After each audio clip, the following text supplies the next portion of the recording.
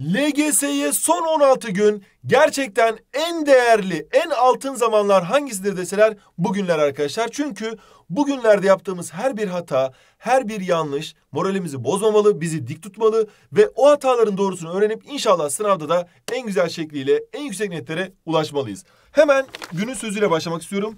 Her gün yarının geçmişine geri dönüp onu değiştirmek için bir fırsattır demiş Robert Bro diye bir adam.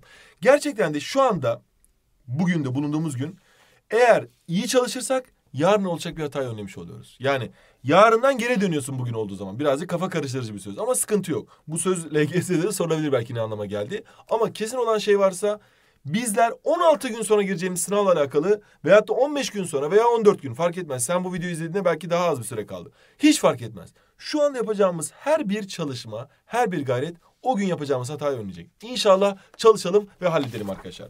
Günün yorumuna baktığımızda LGS'ye çok az kaldı. Şu an ne yapmamız lazım? Nasıl çalışmalıyız? Yapmamız gereken belli arkadaşlar. LGS'de bizim önümüze bir tane sözel, bir tane sayısal bölüm gelecek mi? Gelecek. O zaman bol bol deneme çözeceğiz arkadaşlar. Bol bol deneme çözüyoruz. Çözdüğümüz denemelerde çıkan hatalarla alakalı da soru çözüyoruz. Yani ben burada neyle alakalı hata yapmışım? Noktalama işaretleri. O zaman noktalama işaretleri test çözüyorum. Burada neyle alakalı hata yapmışım? İşte Cebirsel ifadeler. Cebirsel ifadelerle alakalı sorular çözüyorum gün içerisinde. Gün içerisinde bir deneme çözebilirsiniz ya da iki deneme çözebilirsiniz. Hiç fark etmez. Ama bugünler deneme çözüp kendimizi geliştirme zamanı. Şimdi Pomodoro tekniğini önerir misin? Önerirsen kaç dakika ders, kaç dakika mola vermeliyiz? Arkadaşlar şimdi sınavda biliyorsunuz ki sınav süresi 75 dakika olacak sözel bölümde. Sayısal bölümde de, sayısal bölümde de ee, 80 dakika olacak.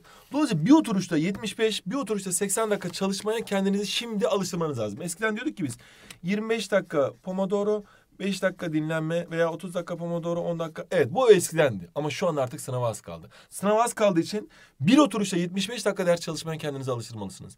Bir oturuşta 80 dakika kendinizi çalışmaya alıştırmalısınız. Ama ne zaman? Sabahleyin çalıştıklarınızda. Yani sabahleyin kalktınız 9'da dersin başına oturdunuz ya. Buradaki pomodorlarınız 75 artı 15 ya da 80 artı 20'lik olabilir.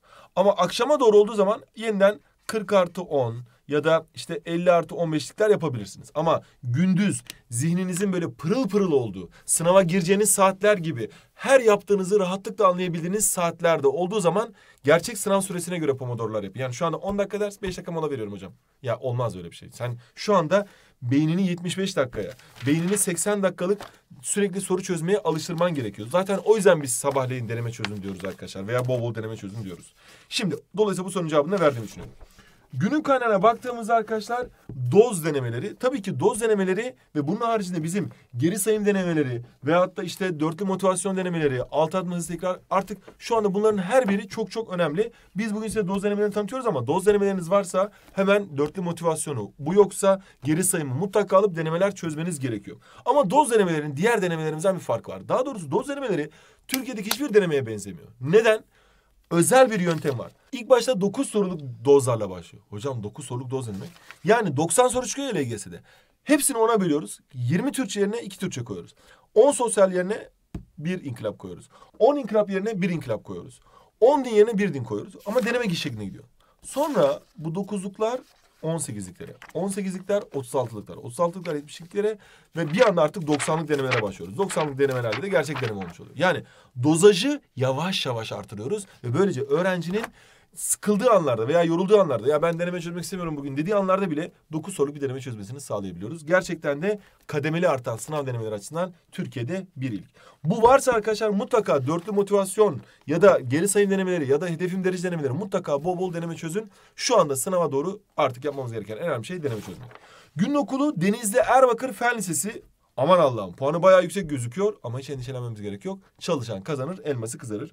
2019'da YKS'de 35 tıp 31 mühendislik fakültesi kazandırmış. Amaçları ne bilmiyorum ama gerçekten çıldırmış olmalılar. Sizleri bekliyor arkadaşlar. Bu okulların hep sizi bekliyor. Denizli'deki de, Uşak'taki de, Ankara'daki de hemen şöyle bir Türkiye haritası alalım. Gel bakalım şuraya Türkiye haritası.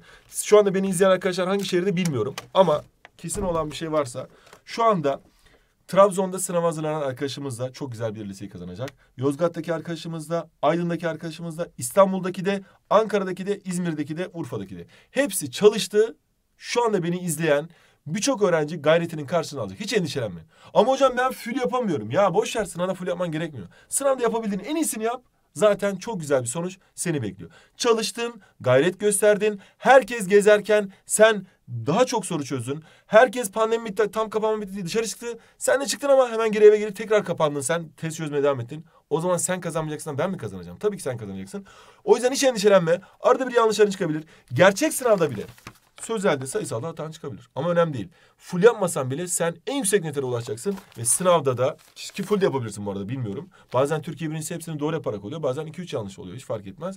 Sen sınavda elinden gelenin en iyisini yapacaksın. Ve en yüksek netere ulaşacaksın. İnşallah hepsini de doğru yaparsın. Tabii ki biz bunu isteyelim Allah'tan. Ve e, Deniz Erbakır Fen tanıttık. Güzel çizmiş e, ressamımız. Ödülü soru yorumlarınızı bekliyoruz arkadaşlar. Hadi bakalım.